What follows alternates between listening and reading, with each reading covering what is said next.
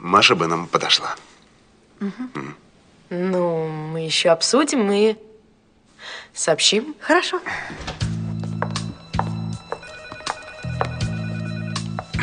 Ну, и как она тебе? Ну, в общем, понравилось. Главное, что она здоровая. Ну да, ведь большего от нее не требуется, она ведь всего лишь навсего инкубатор. Ты знаешь, что мне понравилось? Мне понравилось, что она медик. Ой, я тебя умоляю, обычная медсестра. Ну и пусть медсестра. Зато, как человек с медицинским образованием, она отлично понимает всю ответственность процесса. Ну и к тому же она симпатичная вроде. Ты что, заметил, что она симпатичная? Ты обо мне подумал?